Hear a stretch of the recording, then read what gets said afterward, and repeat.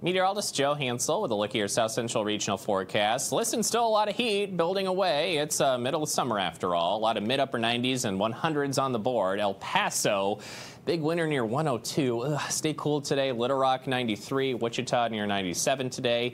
Heat advisories and excessive heat warnings. Areas of eastern Oklahoma and Kansas uh, into about the Mississippi River Valley. So dangerous to even potentially deadly heat in those areas. So take those precautions. And as you're trying to stay cool from the heat, be weather aware of a chance of thunderstorms. We got areas near Kansas City under a slight risk of severe weather today. Large hail, damaging winds, can't rule out an isolated tornado or two out there as well. As a weather maker does barrel in from the north northwest today, so showers and storms building away this afternoon through this evening.